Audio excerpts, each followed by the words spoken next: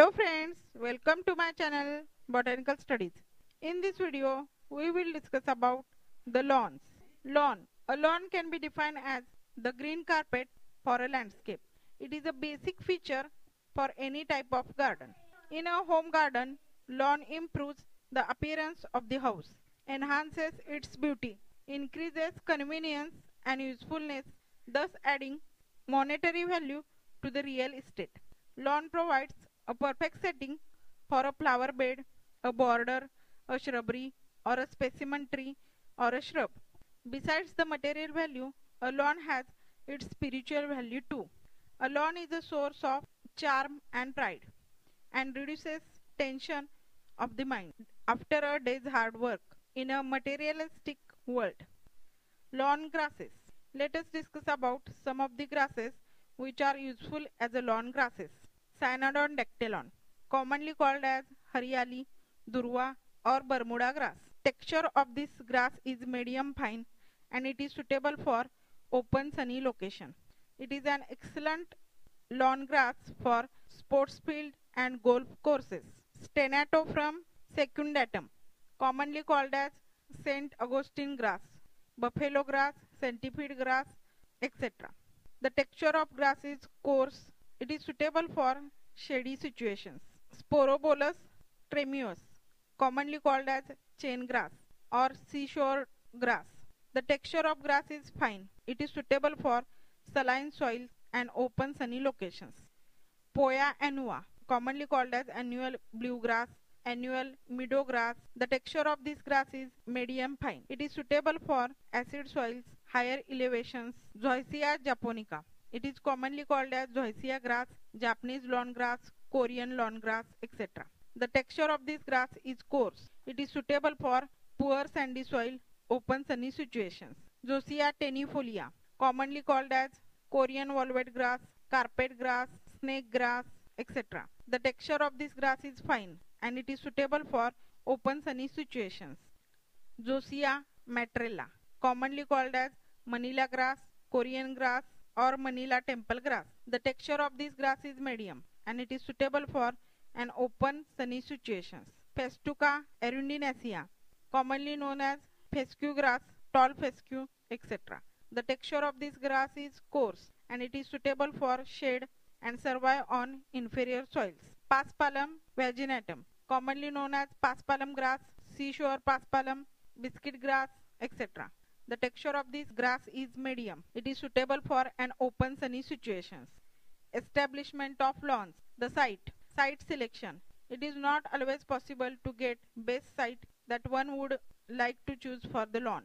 But a few points should be kept in mind before selecting a site. Soil. In India, the common lawn grass, Cynodon dactylon, that is doob or Bermuda grass, is very hardy and can be grown in any type of soil. But to obtain a most luxuriant lawn, it is desirable to have a fertile loamy soil containing enough humus.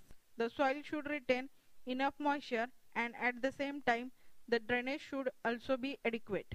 The ideal pH is 5.5 to 6. If the pH is very low, about half a kilogram of chalk or grounded limestone should be added per square meter area on a sandy soil or a similar quantity of slacked lime should be added to clay loam soil. In an alkaline soil, gypsum should be added at the same rate. At least a depth of 25 to 30 centimeter of good soil is required for obtaining a good lawn.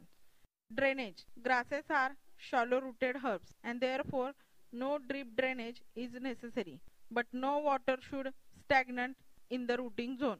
In clayey soils, some kind of drainage must be provided. This may be done by drainage pipes or by putting a layer of broken pieces of bricks and gravel 90 cm below the surface. Ordinary drainage work can be carried out in conjugation with grading or leveling. Digging. Rough surface leveling by eye estimation should be done prior to digging. After rough leveling is completed, the digging work should be taken up. Digging is done during hot months of April and May. During the process of digging, all stones, old masonry, grass roots, etc. should be removed. After the trenching is completed, the soil is left to dry in the scorching sun for a period of 7 to 15 days to kill the weeds or insect and for sterilization of the soil. The soil should be turned up subsequently 2 to 3 times at weekly intervals. Each time the clods of earth, if any, are broken and the roots of weeds removed. Manuring and grading. When the digging is over, the soil is to be manured and graded, that is leveled. Farmyard manure or old stable manure is used for this purpose. The manure is sieved finely and spread over the surface at the rate of 500 kg per 100 square meter of soil. This is then worked up in the soil to a depth of 15 to 20 centimeter. The soil leveling is done with the help of leveling pegs and spirit levels. The soil is then irrigated and the soil levels checked. It is always advisable to keep the level of lawn 5 cm below the level of paths and drives. The margin along the paths are raised by gradual slopes of 50 to 20 centimeter to form a turf edge of 3 to 5 centimeter higher. This method will help keep the path dry when the lawn is flooded with water. It is not always necessary to have a perfect leveled lawn. Lawn can be laid in undulated land also and such lawns look very beautiful. But the slopes and the mounds in the lawn should be gradual and artistic, simulating the nature. Selection of grass. The most suitable grass for most part of India is the doob grass or Bermuda grass that is Cynodon dactylon. The grass thrives well under hot sunny weather. This grass will not grow under shade. Poa species is of a very fine texture and gives a soft carpet-like feeling when laid as a lawn. The color is blue-green. This is suitable for higher altitudes with cooler climatic conditions or hill stations. Method of planting. If irrigation facilities exist, a lawn can be laid down any time during the year. Under Indian climatic conditions, it is better to sow after one or two monsoon showers, while the grass roots is planted at the beginning of the monsoon. The different methods of starting a lawn are by seed sowing, dibbling, turfing and turf plastering. Method of planting of lawn from seeds. If grass cuttings or roots are not easily available, one should go for the seeds. It is important to secure good quality seeds free from weed seeds. Doob grass seeds is very light and fine and proper care should be taken during sowing. Prior to sowing, the surface when relatively dried up is scratched to a depth of 2.5 cm with the help of garden rake. The total area should then be divided into equal plots of 200 to 300 square meters to ensure even sowing of seeds. The sowing should be preferably undertaken on a windless day. The seed is divided at the rate of 500 gram per 200 square meters and mixed with double the quantity of finely sieved soils and broadcast by hand. After sowing is completed, the plot should be watered at regular intervals with a water can having a fine hose. The seed germinates in about 3 to 5 weeks from sowing. Dibbling. After the land is ready, well manured both unrooted and rooted doob grass cuttings is obtained from a closed cut lawn or nursery or from a lawn scraping. The roots or grass thus obtained are dibbled that is planted in a ground when it is slightly moist at 7 to 10 cm apart. The soil is kept moist by frequent watering till the grass sprouts. The roots of doob grass sprout easily and the cuttings of offshoots roots readily under moist condition and within 5 to 7 weeks the grass will be ready for first cutting. By this method a lawn will be ready in about 4 months. Turfing. The quickest method of developing a lawn is by turfing. Turf is a piece of earth of about 5 cm thickness with grass thickly grown over it. The pieces may be of small squares or in rolls, small weeds of about 30 cm or so. The turf must be free from weed and consist of the required lawn grass. These should be laid closely to each other in a bounded alternate pattern. Like bricks in a wall. In the already prepared ground, along the joints, sandy soil should be filled as packing. The grass is immediately watered copiously. By this method, a lawn will be ready for use in a very short time. Turf plastering. A paste is prepared by mixing garden soil, fresh cow dung and water.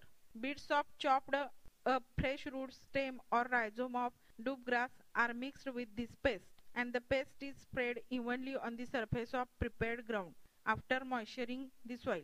The paste is then covered by spreading 2 cm of dry soil and watered at regular intervals. This method is not very suitable especially in dry and variable climate. Maintenance of lawn. Having raised a lawn, the question of maintenance comes next. If the lawn is not properly maintained, it will become useless within no time. The various aspects of maintenance are discussed below. Weeding. Weed is common in both new and old lawns. Therefore, as soon as lawn is established, weeding sh should start and continue at regular intervals or whenever the weeds come out. The frequency of weeding obviously will be more during the rains than in the colder months. The nut grass that is Cyperus rotundus is the most difficult weed to eradicate because of its deep root system. This should be removed with the roots as deep as possible with a long narrow bladed kurpi. All weeds should be removed with the roots and these should never be allowed to seed. Rolling, moving and sweeping. The object of rolling is to help the grass anchor itself securely and also to keep the surface level. Rolling should be avoided when the soil is wet. Mowing is another important operation. The first thing is to obtain a good machine which will cut evenly at a correct height. The frequency of moving is determined by the amount of growth and will vary from season to season. But grass should not allow to grow more than 5 to 6 cm in length during any season. Sweeping. Sweeping the lawn thoroughly after each moving is essential to clean the cut grasses which might have fallen from the mower box. Sweeping is also done every morning to clean the fallen leaves and other debris. Sweeping may have to be repeated two or three times in a day during the season when the deciduous trees shed their leaves. Irrigation.